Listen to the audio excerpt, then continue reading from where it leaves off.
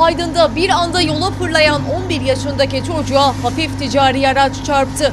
Yola savrulan çocuk hastaneye kaldırıldı. Kaza anı ise işte böyle görüntülendi.